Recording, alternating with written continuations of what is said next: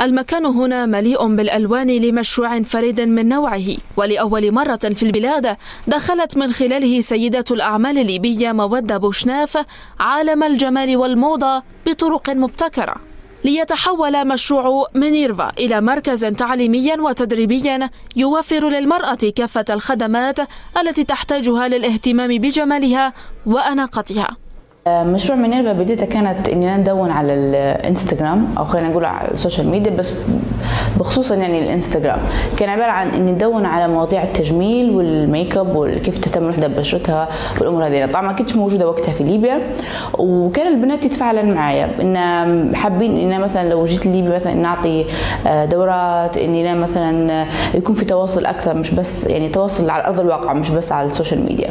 فقررت إني ناخذ مكان نأجر غرفة تدريب صغيرة لمدة أسبوعين وندير فيها دورة تدريب طبعا نظرا أني ما كانش عندي إمكانيات مادية خش معايا راعي للموضوع وهو اللي وقف معايا بحيث أن إحنا قدرنا إحنا نأجروا مكان ووفروا المرايات والتفاصيل الصغيرة هذين والميك أب والحاجات المتدربات.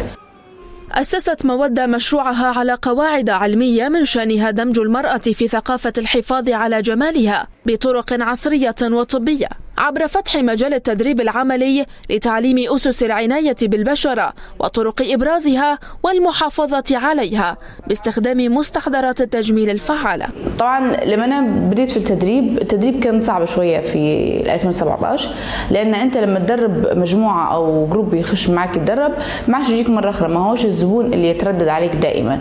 فجينا أن في صعوبة في المشروع واجهتنا من الناحية الاقتصادية أن العدد الناس المتدربين أقل عشان هيك اضطريت اننا نغير شوية في المشروع أو اننا نحتفظ بجزء التدريب بس نضيف لأقسام أخرى بحيث إن إحنا نقدروا نستمروا في المشروع وما يوقفش بسبب وضع اقتصادي أو بسبب يعني إن كيف ما قلت المتدربين يجوا مرة واحدة ما يجوش عده مرات.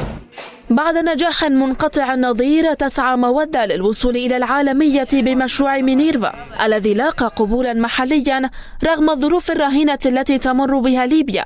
على أمل الانخراط بالسوق العالمي في فنون الجمال والموضة.